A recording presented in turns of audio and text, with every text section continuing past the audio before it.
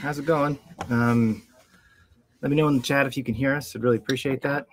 Um, I'm Chris. This is Kelly, and uh, we're going to be Howdy. your webinar hosts for today. Yeah. it's going to be fun. It's always Um, fun. I think, uh, because today we're going to talk about accessories, What? and um, Accessories. yeah, and accessories are um, exciting and fun, um, especially if you're like me and you're a big camera nerd and you have lots of doodads um, hanging around uh, that you want to talk about. So, this webinar is mostly for me. He's not lying. to show off my stuff. So, thank you. this is show and tell for adults. kids. yeah, yeah, I'm going to enjoy this more than probably most of you. So. oh, anywho, But thank uh, you for joining us.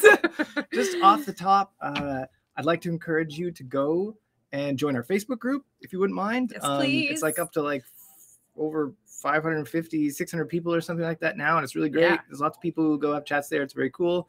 Um, subscribe to us on YouTube uh, as well because we put, we're putting all these videos there now. We were before, but we're still doing that. And if you're subscribed on YouTube, you'll just get notified, so you don't have to, you know, necessarily show up to every single one. It's very convenient. Easy peasy. Uh, and uh, what I'll do is I'll explain sort of the format. So today we're going to um, go through a bunch of accessories that I think are cool. Not biased at all. No, useful, uh, and um, that you might want to use when you're like obviously shooting iGUIDEs. Would be useful. I mean, During kind of, shoot, maybe. sort yeah. of. They're, it's they're semi-related. Um, and just uh, full disclosure, um, we will probably provide links to some of these things, but I don't get paid for any of this. There's no. Oh yes, no affiliates, no No, kickbacks. Right, But mostly yes. because I forgot to set it up, so that's why. maybe next time. Yeah. Maybe uh, by the time we have the links, we'll have like a, this will be part code. one, and we'll do Yeah. part two, and I'll be like, Yeah. links in the description. Use my promo code. All right, I so got Chris. we're gonna do. I'll probably, you know, maybe thirty minutes. We'll. I'll just go through some my like top ten, uh, uh, and then if there's any questions, I'll answer them. Um, so uh, to start, I just want to say um, that my my most important accessory when oh, I'm shooting, oh. the thing that I like to just always have in I'm my in bag, okay, Mm, is my critical is my lightsaber with the sound effects. because it's May the Fourth. Okay, May the fourth be with you. and, it- right. and it's good for stuff like if you need a light, provides a light. Um, opening doors. Um, Pointing at things. Yep. Uh, freeing rebel out. insurgents from uh, Empire uh, Imperial prisons. And the list so goes on. So that's that's the first thing I thought I'd bring up. We hope I hope you turn it off. but seriously, Criti- critical, guys. Critical. Make sure you Oh. write that down. okay, I'm gonna show you guys one of my favorite accessories. Okay, seriously now. Okay, and it's my it's my vertical grip on my camera. Here's your hand. Take it off. Yeah, I'm gonna take it off. Hey, it's this thing. Go. Impressive. Yeah, they look different depending on the camera that you you choose. This is an older one with the sort of like contact um, instead of the sort of weird pokey uppy thing that goes into the battery compartment. But I'm gonna tell you the two funny reasons why I like this, um, and this is a very expensive accessory um, for the reasons that I'm about to tell you. But for me, it's worth it. Okay. So it's two things. So one, it's really cool. Um, when I'm using the camera and I'm doing video, I often have it mounted on something, you know, tripod or whatever, gimbal or something. And I find it really irritating to get to the battery from underneath. So this has a slide out drawer for the battery, and it's way easier to change batteries for me. And I'm lazy.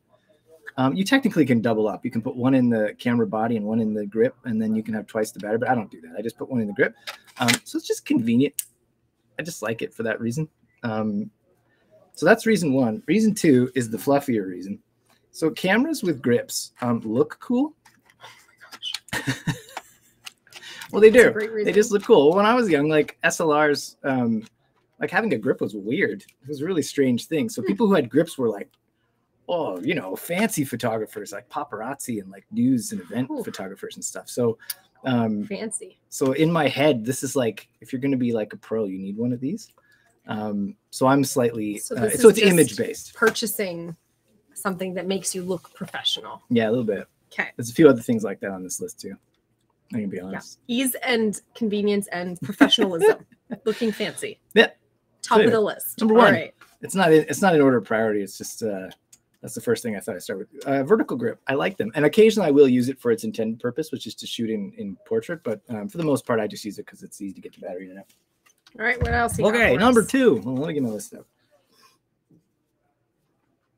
Nope, there we go.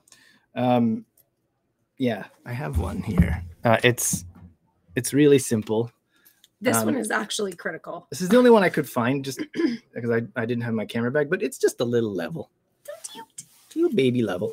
Um, so spirit levels are really cool. Um, if you're a real estate photographer, you already know this um, because you'll have been forced to learn it. But having a really level camera really um, gives you consistent results with your images um, when you're shooting because it allows you to to to you know align all your vertical lines so they're straight up and down.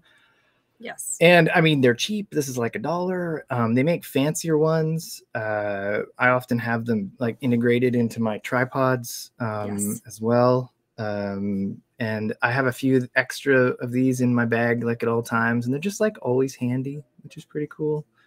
Um, so yeah, so the the the humble spirit level.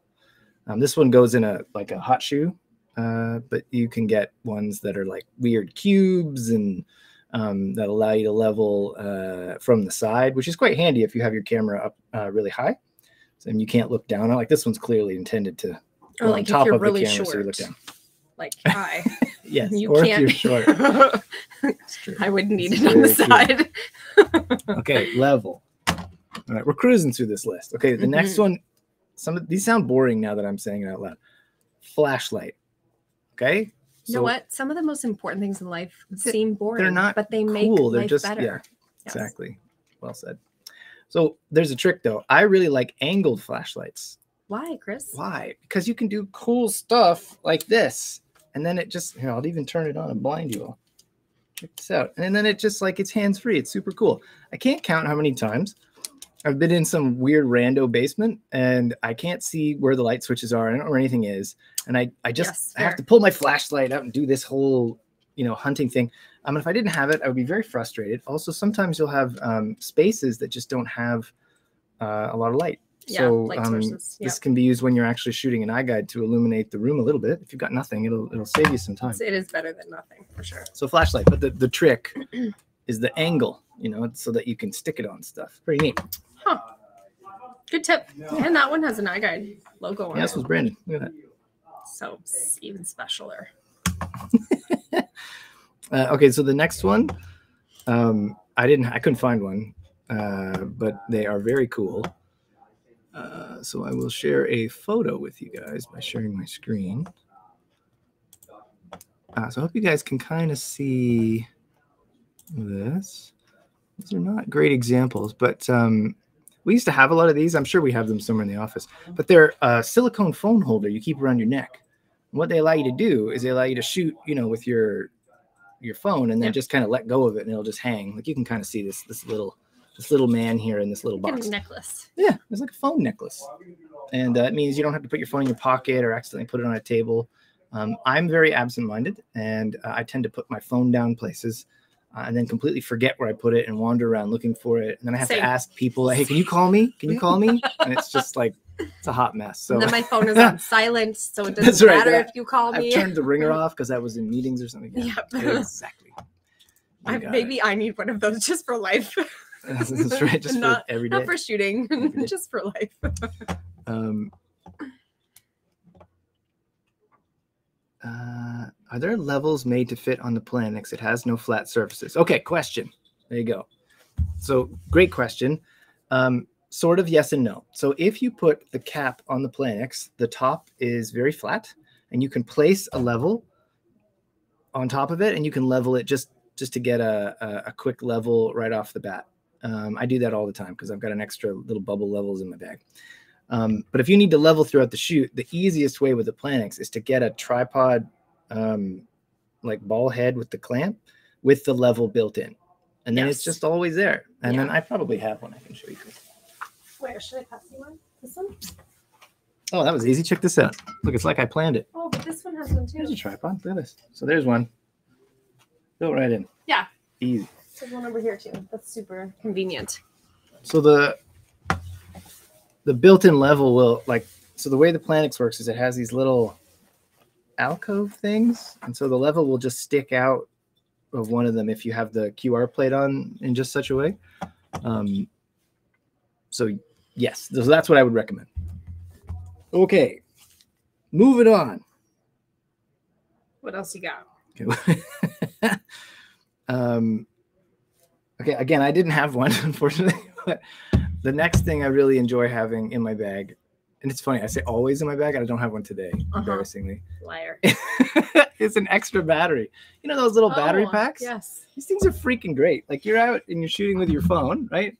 And you're kind of reliant on the your smart device, the battery, so much right? for so many things. Yeah, so you get one that fits like about the same profile as your phone, and Yeah. then you just some of them even come with this. You get an elastic band or two or a silicone band, and you just strap it on. You could just use it all day. Um, again, I'm a big nerd, so I actually for a couple projects had like a utility belt with like a big pouch, and it- I think it looked cool. And I had a battery in it and a cable that came out and it attached to the phone. It worked. I shot for like eight hours with it. We're There's no pictures of me using it, so Yeah, I've I've never seen one of those. I'll just you'll just have to trust me that it was really cool. Like a fanny pack. Uh, yeah. Okay. Um, okay. The next one. How much time we got? Oh yeah, we're cooking. We need to slow down a little bit. We're having too much fun. Um, the next one is going to be tripods. So that was the obvious one. I knew everybody wanted me to start there. Okay, I'm Yeah. going to give you my take on tripods. Okay. How many do you need? You can never have enough tripods. Uh, seriously? I that don't a know, real probably. thing? I have like eight. So yes. Okay, well that's so serious. Uh, Do you want another one? you know the the tripod that you choose is more about what suits you and your workflow so there's no one perfect one perfect tripod um, you don't have to buy a fancy expensive tripod but you can if you want It's made for Um, but i'll give you a couple of examples of features that i really like that i don't think i could live without now and it's actually good that we have these two so oh, great. the first one. Uh, this is a quick release plate, and it is a an Arca Swiss style. It just means it's got little bevels, and you slap it in there and you tighten it. Easy. This one is a Manfrotto RC2. Very common. You like kind of snap it in. Actually, I can Mhm. show you. It's on the bottom here. So it's one of these. So once once you start using the Arca Swiss ones, these ones, it's really hard to go back to the, the snappy ones with the RC2 because they have this big lever and it sucks and it interferes with the Planix. It's a big pain in the butt. Um, so I vastly prefer these now. And I've actually converted a couple tripods, the Manfrotto ones, over to this. And it's so much better, which is annoying because I have like a zillion of this RC2 plates, but it's they're just easier to use. It's nice. You can take them on and off so much faster. It's just better. Um, but uh, what I like to do is I like to have one tripod for everything. So some people, I know I only have like eight of them, but I only use one at any given time. And when I'm shooting, I'll switch. I'll use uh, the Planix, and then I'll take it off the same tripod and put my my stills camera on, and then I'll shoot with that. So one tripod and then multiple cameras uh, to, to cut down on the weight. So that means the same QR plate has to be on all of them, but then they're compatible um, with the one tripod. Smart. Makes sense. Yay! You're just collecting them then. I yes, Okay. kind of. Just for fun. Okay. I do love them. So Oh. um, Do you need this stuff? Uh, yeah, And yeah, hold it up. So the other thing uh, is a ball head. Now a lot of people swear by, um, you know, like something like a Manfrotto geared head, like a 410 Junior or whatever, and that's totally cool if that's your jam. But I find those are too big and bulky and weird, and I don't like them. So I I prefer a ball head. I prefer a chonky ball head. But the special thing that I really like on a ball head is is uh, this.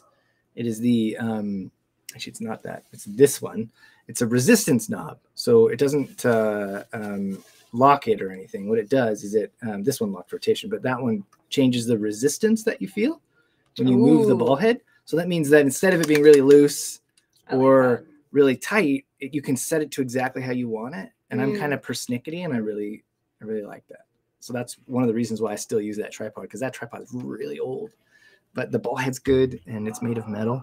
That's another thing I like about tripods. I prefer a heavier tripod. I, we're going to talk about tripods for a while. this is gonna You're this is really gonna be like 30 tripods, minutes on just tripods. So I should have just started with tripods. Um, I like a heavier tripod. Some people like a lighter tripod.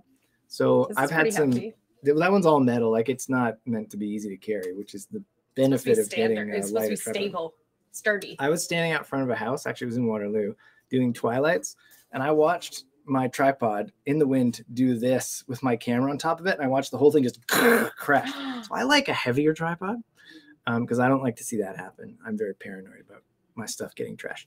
Um, but you know, the the the weight of your tripod is completely up to you and what you're comfortable with. The only thing that matters, you know, really is its carrying capacity. So Yeah. you want it to be high enough for your whatever gear you're using. The Planix is quite light, um, Yes. so it's usually not an issue. But um, you know, something in the sort of 15 pound capacity and up is kind of my comfort zone, although that is quite low and, and usually quite small. The only exception to that would be something like a travel tripod. So this is an example of a travel tripod.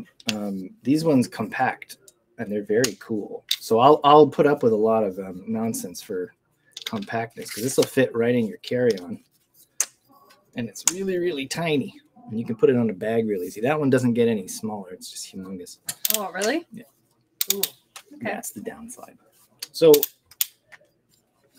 last thing with regards to tripods, okay, and this is just this is just my personal preference. I don't like twist legs because I feel like I look foolish when I set it up on site. It's an image thing. Again, there's a few things on this list like that, but I like the snap legs, and those require more maintenance sometimes. Like the this Oh. tripod comes with a little tool, so you can adjust the snap legs when they get loose. Uh, and some of the cheaper Hmm. ones, like this one, don't. Um, but I, I don't like the twist legs. I, they're fine. They work great. We've had lots of tripods. I have a few here that have twist legs. I don't really like them. I prefer the snap legs. Again, personal preference. It's just me. this one feels hardcore. Yeah, I like a sturdy tripod. Um, I vastly prefer it. Uh, what time we got? Oh, 17 minutes, tons of time. Okay, so uh, the next thing um, is this. This is one of my favorite accessories. So it's a camera cage. Ooh. I don't know if you guys can see that Looks very well. That's the thing.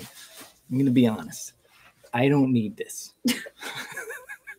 I don't need it You at all. sometimes it's about what we want, just Yeah. not what we need. What's it for? But man, this well, so it's, basically what it does is it gives you all these mounting points all over it. So you can I Oh. have a thing I'm going to show you. You can attach stuff to it like lights and stuff. I don't really Oh. use any of that stuff, but um, with one exception, which I will show you guys because it's the next accessory I think is super cool. Uh, but camera cages are neat. They kind of provide you with like all these extra possibilities for how you can you know set That up your camera cool. they're mostly like video related. You don't really need this Ah. for stills, but um, I don't know, pretty cool, and they don't cost very much, so they're kind of and they look awesome. They do. Like, Look look how cool this is. It's very cinema, you know, C- cinematic. cinema. Okay, that leads us right into our next thing, and it's it's this thing right here. Okay, so I got this on the internet. Oh man, this is like the new age infomercial. So Okay. at twelve o'clock. and it's a it's a grip. It's a grip for the camera. So I'm gonna show you how it works. Okay, you put it on the camera like this, and then it gives you a handhold. Right? So you're like, you if you know what this is, you're already like, yeah, of course. But if you don't, this is what it's for. It's so that you can get a really good stable handhold on your camera, and you can shoot more stable video or or like you know get weird angles you wouldn't normally be able to get or whatever. Um, so I love this thing. It's very, very handy because I don't have a fancy uh, gimbal for this camera, like an expensive um, stabilizer, Gotcha. and I don't need one because this has in-body stabilization. Pretty cool. And I have this extra grip, and it gives me a pretty stable platform for doing stuff. I don't really. I mean, I want to have a gimbal, obviously, but but I don't need to buy one because I have this cool grip for now, anyway. Until you, you know, need slash want. But let's. I'm just going to show you why it's this grip that's cool. Okay, so Tell remember us. I mentioned before that a lot of this is like image. Like Uh-huh. this looks really cool. It's made of like wood and it like clips on. So I have another one that I bought first. It does look cool. Smaller. and I, I use it for something different, but it's like made of metal, and like you can clip it on like this. weighty. Lame. It's weighty. Oh yeah. But It feels good in the hand too. doesn't it? I feel like we're on an infomercial. We should have put we should have put links in. links. I feel like Um, I'm your assistant. Well, the You're selling it. so that and the camera cage are made by a company called SmallRig, and they Feels make a lot of like pretty affordable cinema stuff. I don't know who made this thing, but this does pretty much the same thing. It's just not as much fun. I was expecting cool. it to not weigh as much as it does. The way it looks. Well, like I don't. It's more than what I expected. I don't know if it's a lot. It feels like like, I'm holding eh, something. You know. It's kind of cool, but that's like super cool. I was very impressed with myself when I bought that. Yeah. I'm impressed with you. Definitely looking professional. Okay, moving on. What else you got? This is like a rapid fire accessories here. I'm saving the best for last, by the way, in case uh, anyone was curious. So don't go anywhere. Extra grip. Oh yeah, the next I don't have it with me because I said okay, I'll go get it. No, I can't. I'm in the middle of a webinar. I can go get it. Where is it? It's the GoPro. It's sitting on the Sitting on the where? on the um that Kitchen? whatever the cabinet thing above the board games with the splatter paintings. The board games with the slider. Oh yeah, but near the near the back door. Do you know what I mean? So the next accessory is a GoPro. Um, I know it's weird because it's a whole other camera, but man, they are just they're useful. They're just handy to have. I've used them for all sorts of weird stuff. You need a little bit of like random B-roll footage in some strange place, or you want to do a really quick walkthrough video, or you want time lapse. Actually, those are pretty cool. You can set it up and like it's a GoPro who cares and like forget about it. Um, I've got like an old one uh, as well. Um, uh, and um, so I don't really care about, you know, losing it or fun. Yeah, there we go. I should probably turn it off actually. A. Oh my gosh, it got me running. It did, yeah. That's Right. So yeah, GoPro. That's it. I just keep one in my bag because they're tiny and I don't know. For what? Just for filming stuff? Well, so occasionally you just need a camera that um, is really, really wide angle, and these things are stupid. They're like they have an obscenely there's a distortion involved, but they have a really wide angle, and yeah, there's no focusing for these. It's just like fixed focus, so they're just super easy. Footage is good usually, so you could just use them to capture just weird footage sometimes, which is kind of neat. Handy dandy. Okay, next. All right, next. What's next? iPad. Oh, now we're promoting a brand. Yeah, a little bit. Okay, but here, hear me out. Okay, so as I as I'm getting older, is- Mm, I see where you're it going. is. I see where my phone going. is getting further and further away from my face. So I used to tell people all the time, like, you know, uh, you don't need to have an iPad, and you don't to shoot No. iGUIDEs. You don't. Okay, but man, is it nice? It's awesome. It is very heavy. Actually, can you pass me that big goofy thing behind you? So I, I, I uh, no, no, sorry, the big rugged case there. oh, this. So these things are cheap. You can get a um uh one of these big rugged cases for your Yes. iPad. I should have put it in there. Recommended. And then you can hold it and they come with like a strap that you can put around your neck or whatever. And it it's a little overkill to be honest for like a house, but for a larger property, like they're awesome. Um, because there's just so much more screen real estate to start putting your data Mm, together and doing mm. alignment and kind of Yeah. analyzing it or whatever. It's kind of awesome. So I know I told everybody, sorry everyone, that you just need a phone, but it's really nice to use an iPad if you Yeah, have need one. versus want. It shouldn't be just it's not just iPad, it's any tablet Yeah, you yeah. Tablet You don't have to use an iPad. doesn't have to be an Apple product. Yeah, I mean they pay me to tell you that you should get one, but that's okay. It's fine. You wish they did. I do. you do it for free. oh yeah. So the iPad, um, like it's crazy expensive to have a tablet if you think about it, because you already have your phone. You don't need to have it, but it's a very popular device. yeah, people it already is. it. We do tell people that are doing really large properties that it's it could help their lives a lot. Um, I'm gonna read a couple questions. Yeah, yeah. Comments, Uh, questions. So uh, Jared, I use a gear head for photos and a ball head for iGuide. Yep, makes sense. Uh, gear heads are awesome. So yep, um, totally cool. Uh, and then Mark wrote, I just pinched my finger on a snap link today and bled in a customer's house. Not fun. Okay, so there's some risks, but risk thing makes things fun, right? Nobody said photography was risk free. That's right. If it was easy, Your everyone job would do is it. not easy. That's why Probably. they pay you to do it. Exactly. Okay. Six minutes left. We're gonna get to our final accessory. Final It's the last one. It gets a full a full unboxing.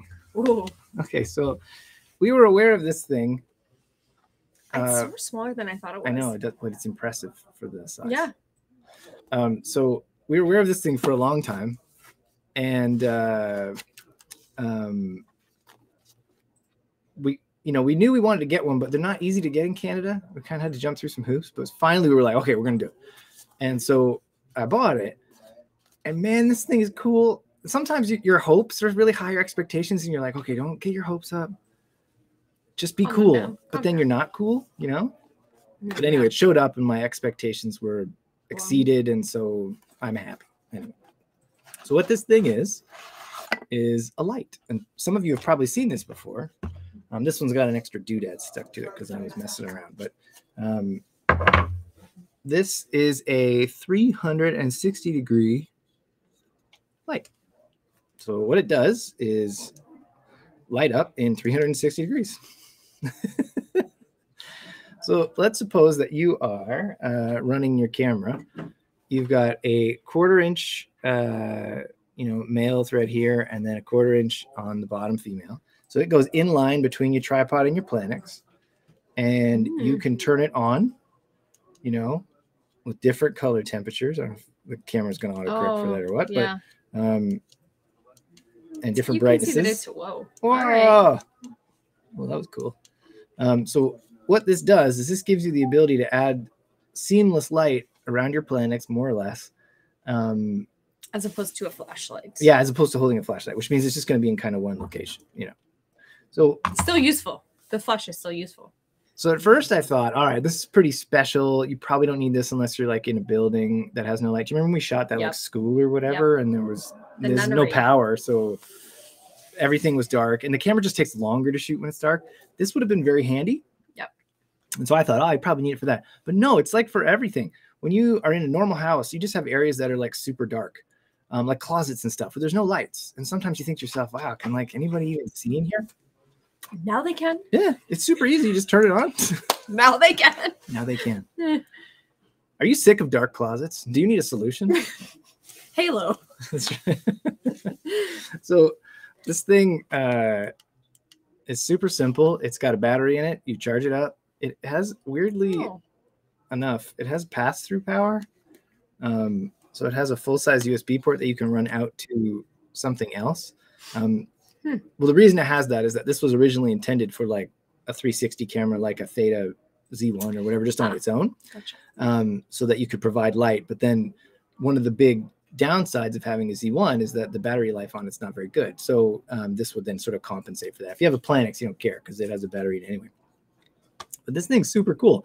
You can just use it every shoot. So I, I kind of thought, so my point was that I kind of thought it was a very specialty purpose kind of thing and that you might only use it for certain shoots. Heck no. Surprise. Put it on, use it every shoot. It's awesome. It's like that red hot. Remember the hot sauce commercial? Put that on everything. That's right. Put on everything. And then just for fun, I have this like weird fluid rotator that has a, uh, an Arca Swiss plate on the bottom that just happens to match the diameter. So I put it on the bottom for extra cool. I don't need it at all. Just, Just to be clear, extra. it just looks cool. So what's that like? Um, five out of five, five out of ten things on the list are just because they look cool.